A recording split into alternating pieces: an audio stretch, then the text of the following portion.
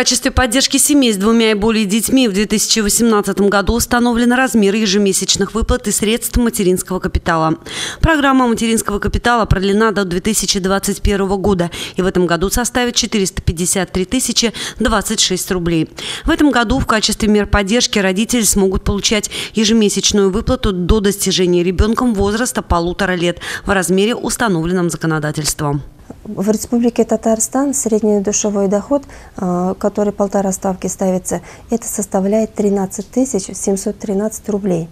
Это для трудоспособного населения. А детский средний душевой доход составляет 8 490.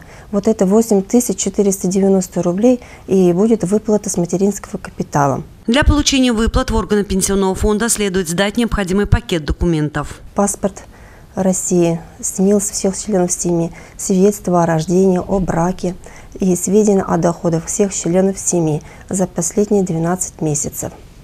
Доход, значит, это включается зарплата, пенсия, соцвыплата, стипендия, алимента и справка из банка о реквизитах счета для перечисления средств.